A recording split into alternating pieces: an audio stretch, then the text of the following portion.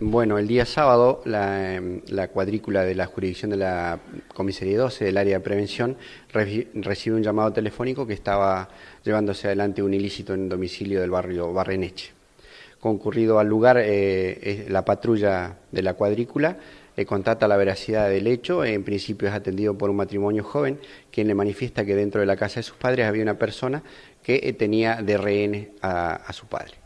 Eh, ante esta circunstancia y, en vista de que el domicilio que era afectado por esta circunstancia es de dos plantas, el efectivo policial ingresa, uno hace la cobertura, ingresa al mismo y al, momento de subir la escalera para este, acceder a la planta alta, este, eh, al mismo momento bajaba una persona amenazando a otro mayor con un arma este, sobre el rostro del dueño de casa que resultó ser al final.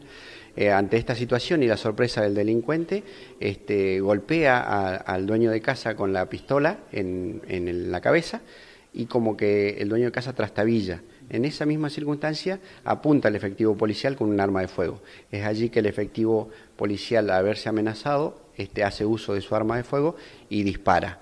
Ante esta situación, el delincuente trata de huir hacia sobre sus pasos hacia la planta alta para poder acceder a una puerta balcón y escaparse. Eh, eh, situación esta que no logra, dado que cae antes de llegar al balcón. Eh, se determina que estaba herido de arma de fuego. como esto es, rápido y todo, sucedieron los, sucesos, valga la redundancia, todos seguidos, el otro efectivo ya había llamado a la ambulancia en razón de que el dueño de casa se encontraba con heridas sangrantes y visibles. Es que, bueno, en unos minutos eh, llega la ambulancia, en primera instancia este, se examina y se, le da auxilio a la persona herida de arma de fuego, se baja, porque esta situación todo ocurrió dentro del domicilio, se baja al, malviviente, se lo lleva a la ambulancia y la doctora eh, nos informa posteriormente que esta persona había perdido la vida.